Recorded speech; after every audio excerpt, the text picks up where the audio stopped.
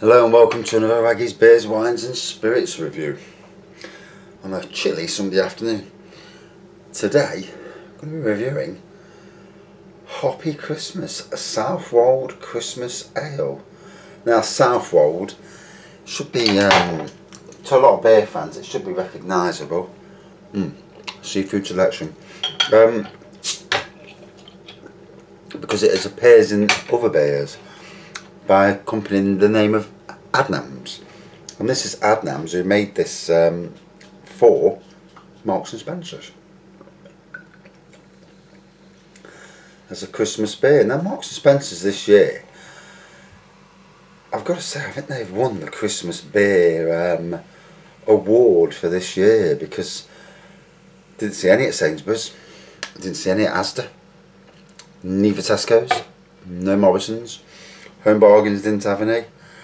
Waitrose, well we ain't got Waitrose anymore so I can't really say about them. Uh, B&M had a few but they sold out pretty quickly so you, you know you've got to have Christmas beers available all Christmas long to you know for that, to get that. So it's a, a 4.2 percenter and it says my god that rhymes dinky just get me um, my phone out light it up.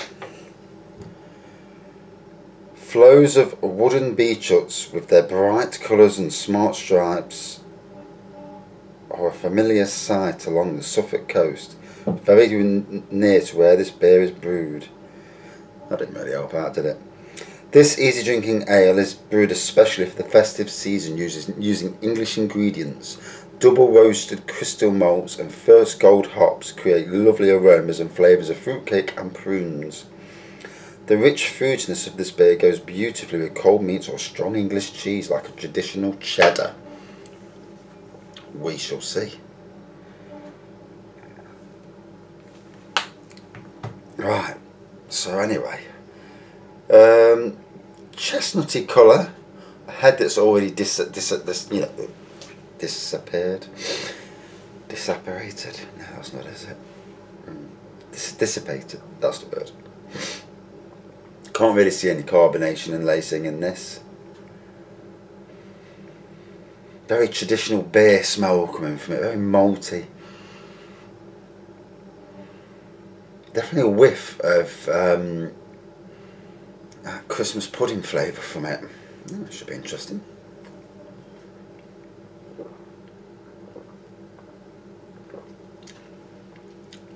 and on the taste that Christmas pudding flavour um, comes through as well.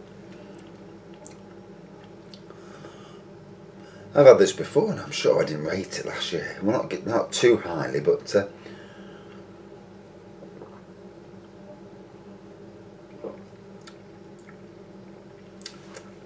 yeah it's got nice complex flavours to it. Obviously the alcohol content's a bit lower than what I'm used to. Let's have another thing while I'm here. Hmm.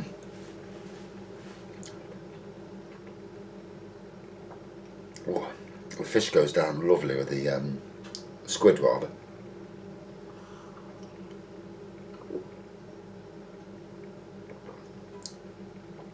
Wow, colour me surprised.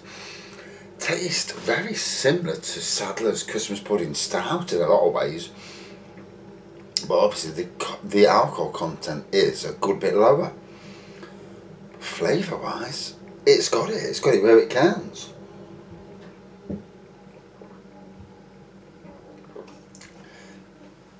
On sale £2.50 for a bottle, which is steep in this day and age, in Marks and Spencer's, although I got it on a free for £5 deal.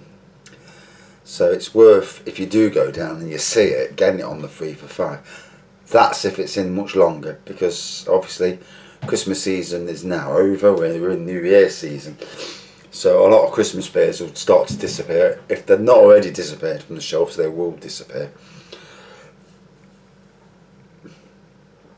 Hopefully, shops after Christmas will start having beers that uh, the breweries haven't been able to shift. And uh, we might, get, might see some interesting beers appear in the likes of B&M, Home Bargains, etc. We can but hope because the supermarkets, I mean, I've not even, I've been in Morrison's like once in six weeks, and I wasn't impressed when I went in. But obviously, after Christmas, February time, sort of February time, they'll should do a range review for the for the spring and summer season, and uh, you should see some interesting new beers that appear. Should.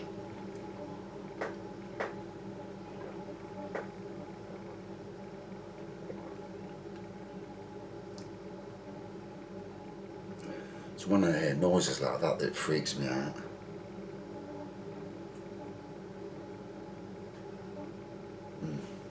Hmm. So, I've got to say, um, very good on flavour. It's got it where it counts on both flavour and taste. Strength is only 4.2, but you're appealing more to the masses uh, when it goes lower down rather than you know the more stronger beer fans. But um, Adnams, wow, got a contender for one of the best beers of Christmas here. Um, fantastic for a 4.2% and I love the fruity, the dried fruit Christmassy taste to it.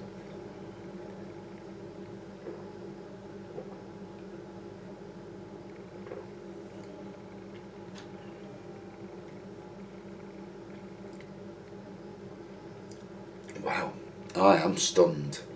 Um, that is much nicer than I was expecting. And, and, and I remembered, I mean, it says here, a rich, dark winter ale brewed with English malts, yeah, for lots of fruity, festive flavour. Can't fault it, it's absolutely bang on. And it's described as a seasonal guest ale. So obviously it ain't going to be around for long. So if you do want a bottle, a trip down rather quickly might secure yourself a bottle and see if you like it or not. Um, I don't know if Adnams make their own version of this because obviously this is done for um, Marks and Sparks. It says brewed exclusively, but you're not telling me they ain't got their own version that they're keeping. You're not just going to brew it for, for Marks and Spencers and not do your own slightly different named version. I would.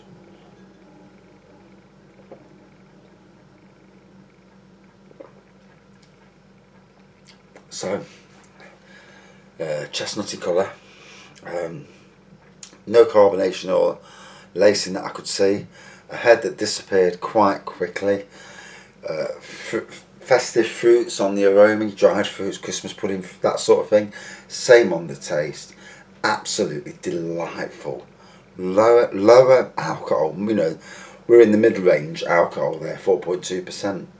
Um, very, very good beer. One of the best Christmas beers I've had. Certainly a, one of the best supermarket Christmas beers. I mean, not been that many, but um, um, I would put this out of the beers that I've got from supermarkets, second only to Sadler's Christmas Pudding Stout, which is head and shoulders a clear winner. But um, it's very, very close. Mm.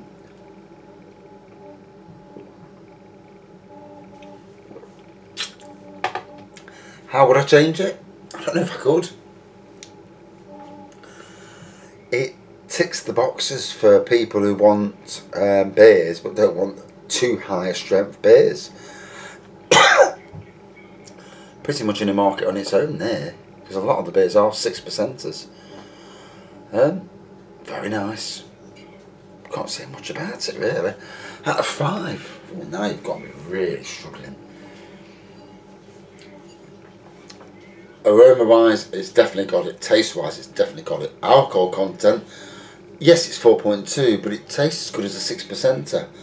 So again ticks all the boxes. It, this really is a damn good beer. Uh, Adnams. And what beer do Adnams make? Which tastes very similar to this but stronger. Broadside.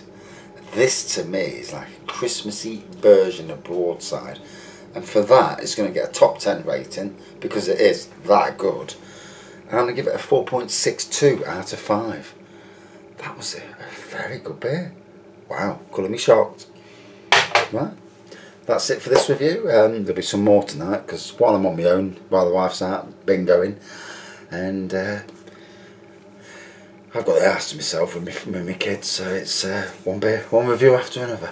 Thanks for watching. See you soon.